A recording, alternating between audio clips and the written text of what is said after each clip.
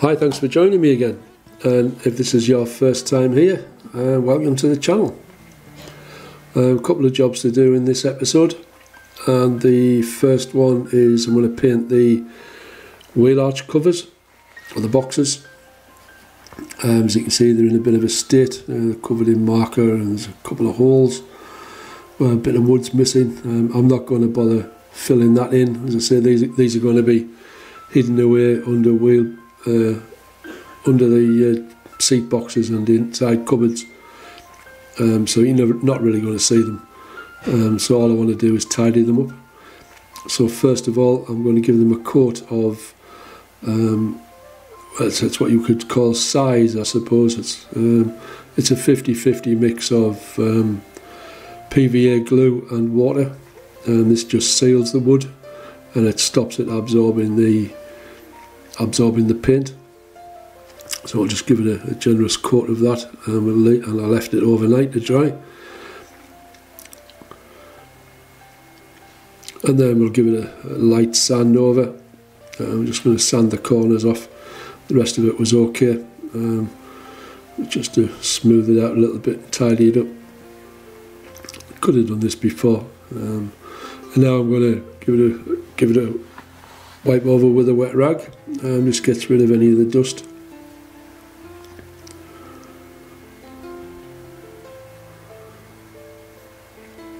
And then when that's dried we'll give it its first coat of paint. I'm going to be using a, a foam roller on this. Um, one tip is if you uh, if you're using a roller like this, if you dampen the roller first, um, it helps to uh, load it with the paint. Uh, you don't want it soaking wet, just uh, you know, just damp. Um, I like to use a roller on flat surfaces like this. I use it on doors and, and things. It gives it a much better, much better finish. You don't end up with brush marks. And with it being a small roller, you, you, you can handle it a lot easier. Um, no, not aiming to uh, get full coverage with this coat. We just want to lay a base coat down. Uh, you will be able to see the wood through this. You just want a thin layer, don't put too much on.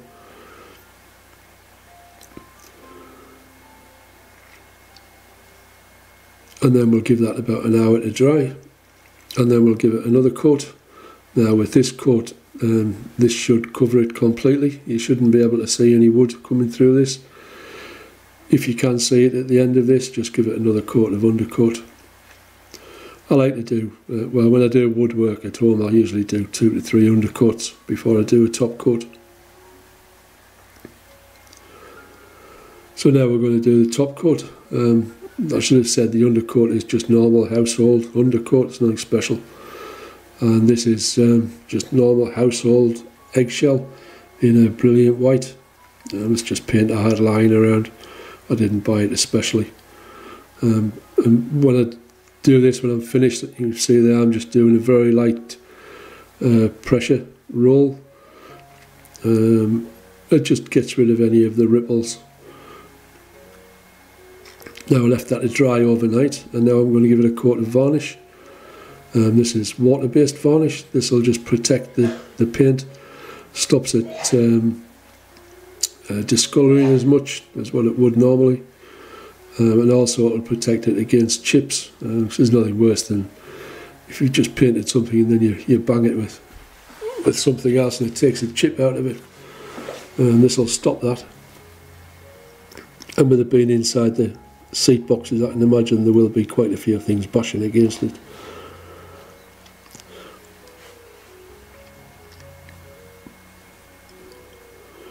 And when you're ready, uh, when you've got the as much on as you want, just use the very tip of the brush and just go in one direction. Just with applying very light pressure, this will just take out any ripples. And we'll let that dry for about uh, a couple of hours and then I'm giving it a, a very light sand. It's a, it's a very fine sanding block. You can actually use a scotch pad just to use to do this. And then we'll give that a wipe over as well with a wet cloth just to get rid of the dust. And then we'll we just uh, rub that over just to give it a key for the top coat of uh, varnish. You can add as many coats of varnish as you want really. Um, I generally do two, two or three. Uh, same thing again here, once you're happy with the amount of varnish you've got on each panel, just use very light pressure with the tip of the brush just to finish it off. And you can see the finish there on the top, and this being a pretty scrap piece of wood, um, it's quite a decent finish on that really. So that's them done. So now we're going to do the bulkhead. And for the bulkhead, I was going to use or build a one with um, put foam inside, but it was going to encroach on the, the cabin area far too much. So I just used 18 mil ply, and then I had some uh, laminate under, underlay line around, so I just put that down, and then coated it with some Reflectix as well, and I just glued the uh, the carpet onto it. And I'm just smoothing it out, trying not to stretch it, and just getting rid of any ripples, and I just worked my way up. Um, and when I get about three quarters of the way up, um, I lost the footage after that. Um, so anyway, all I did was just I worked my way to the top, uh, flipped it over, and then did the same on the other side, and then trimmed off the ex excess, and then glued the edges down. Um, it's a pretty simple job, really.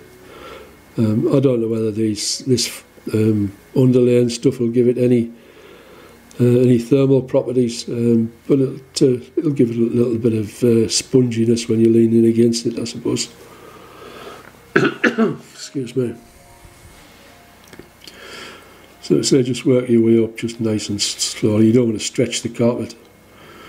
Just smooth it over, make sure there's no bubbles. Now we're going to do the floor. So you can see the, the bulkhead's in position there. Um, I don't know what happened to the uh, the footage for that.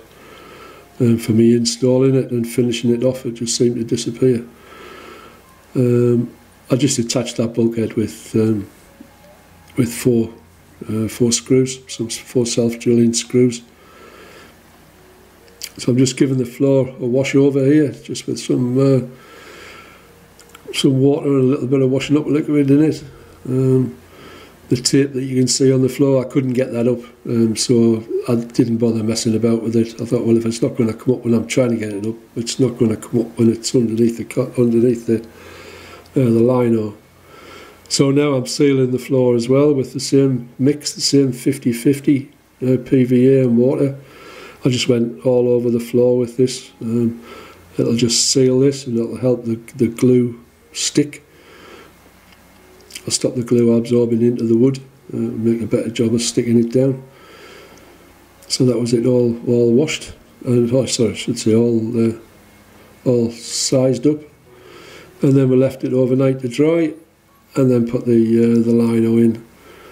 And I just um, sort of roughly cut out where it needed to be uh, try to leave a couple of inches excess all the way around just to trim it off later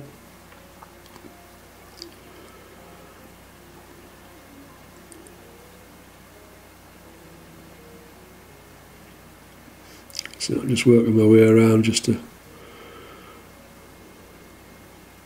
You don't want to try and fit it properly at this stage. You just want to leave some excess all the way. Now I've just folded it back over and then I'm just spraying the glue. So I'm using the same spray glue as I used for the the carpet. Um, it's just a general general purpose um, spray contact adhesive and I'm using a, a large paint roller um, just to smooth this over just to try and make sure there's no air bubbles in there applying, applying loads of pressure I'm just doing a small area at a time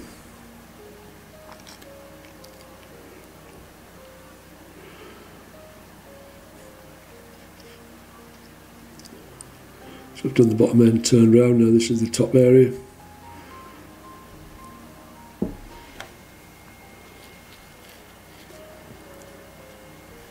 And then I realised that I hadn't filled in uh, a hole near the door. Uh, so I just used a piece of ply and some mastic and just filled that in and that did the job perfectly.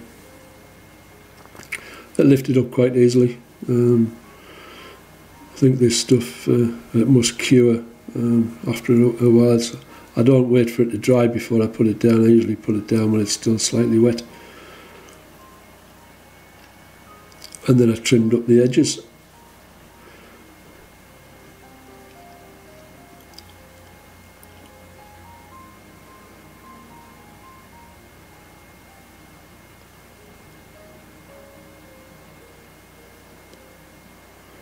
Oh, that bald spot of mine's getting bigger. I'll have to be having a transplant soon.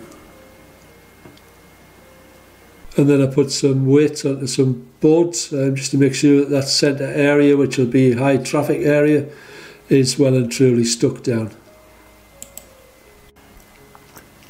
And then once it was all trimmed, I installed uh, some uh, checker plate angle um, just drilled a few screws into it and uh, and screwed it in just finished off that edge nicely so um, that's it for this episode. Um, like I say thank you very much for watching again and I hope to see you in the next one. Take care now